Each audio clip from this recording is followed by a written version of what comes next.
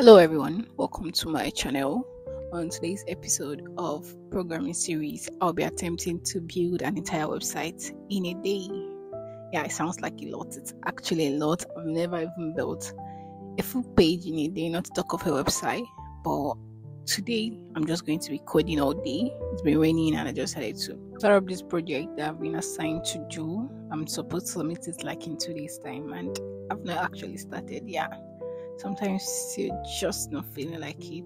So this is my laptop interface. I'll be screen recording. First things first, I already created this um, restaurant folder where work is going to be. Yes, I know it's on my desktop. It's bad practice, but yeah, I'm going to take it out. So I would go straight to my Chrome because I like to source out for my materials I would use before I actually start off any project. Like I just like to source out, and then when I'm coding, I know I'm coding so first things first, I'm researching for restaurants in Nigeria because I like to draw inspiration. I like to see what actually like a website looks like, a restaurant website looks like. I've not actually explained what I'm building. It's more like an, a website where more like food vendors can register. If you get what I mean, food vendors can register and display the foods they have up for delivery. And yeah, you can choose like you have options. It's a group of what restaurants join together, that kind of thing. So yeah, I'm trying to design the front page.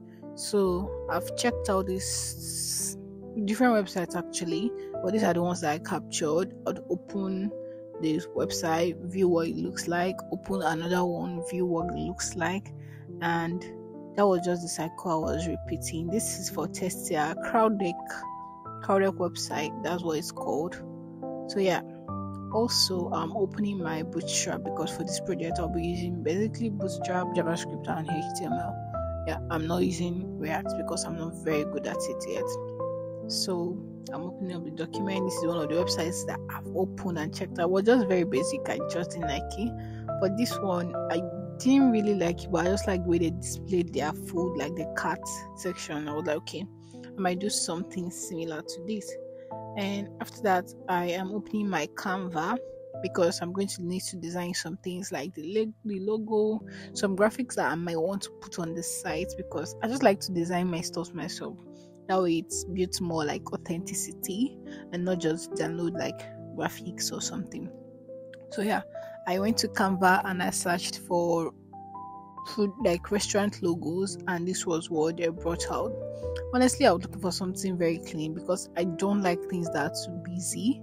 So i was confused. I'm not going to like because there are a lot of options. And then i saw this particular logo. I'm like okay it's not bad. I just want something like really basic like this. And because restaurants are known for like colorful websites i'm going to have to use like very shouty colors, which I don't normally use on my pages. So yeah, I saw the orange and the yellow and they were a good match. So I'm just going to customize it to what I actually want to the name of the site. Also, for this website, I'm thinking of incorporating a video to it. So I'm going to search for free videos. There are websites where you can download free videos and like free aesthetic videos. So for this particular uh, project, I'm using Pexel, a website. So I'm just going to search for restaurant or food pictures or food videos and they're going to give me like options of food depending on the kind of food I'm looking for. Is it preparation? But I want like already made food, like food that is done. So yeah, that's exactly what I went for. After I was done downloading it, I went over to the restaurant folder on my desktop and opened it with my VS Code because that's what I code with. With my VS Code and I started coding.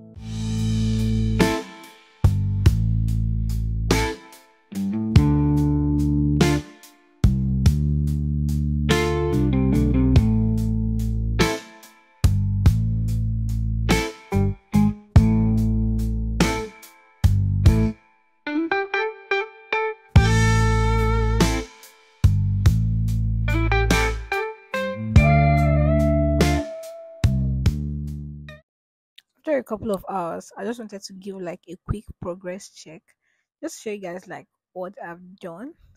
So yeah, nothing is happening. Yes, I know. These are like lines of code that brought about this, and it's just basic. I've just basically just done the nav bar. inserted my logo and inserted the video at this point i just hadn't even know what exactly i was doing on this site but i just knew that i wanted something different something different from all the websites that i've created or designed in the past. So here i wanted to remove the controls on the video so that once you reload the page the video just plays automatically and you can't pause it or anything. So yeah this was it.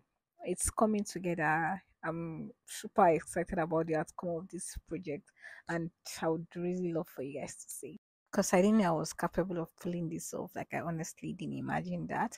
But like I said, determination is the key to success.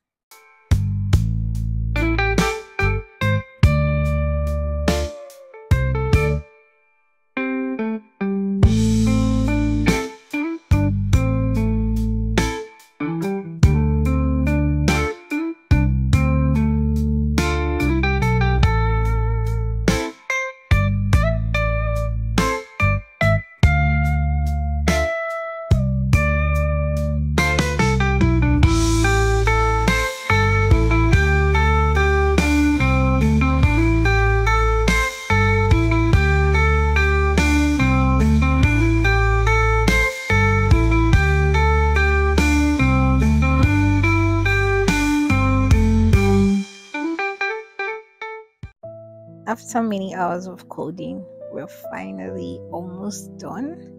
And first of all, just want to say that I didn't finish this that day. They took light, there was no light, and there was no way I could power my laptop, and I was honestly exhausted. So I slept and I woke up the next day and I continued. So yeah, this is the side nav bar, and this are like the animations on this site, which I really love, like the CSS styling the style is basic, but then it's nice. These are things like I've not tried before. And yeah, this is the food menu option. I just let show you guys the animation where it pops up from like town. It slides up kind of view into like the food section. I can still add more based on the request if the person that assigned me says I should add more like food menu. I can always duplicate them, but for now it's just four just took my time in downloading these pictures. And this is the footer. So yeah the site is basically ready. The front end sorry. So for the form like registration form I didn't do that yet. But I'm actually going to that it's not going to take me much time because it's just basic login form. And yeah this is what it looks like. I'm so happy I can this site I don't know, it's just so beautiful. The video It's just something I've not done. And here I wanted to check the responsiveness of the site because if this site was not responsive, I would literally just cry because I don't know where I was start from. But yeah, it was responsive.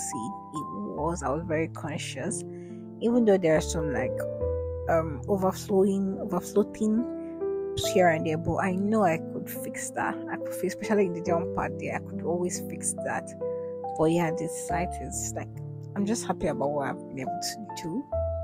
So in the spirit of that, I didn't do it in one day. I actually did it in two days, which is actually progress. And all throughout the time, I just focused my energy on that.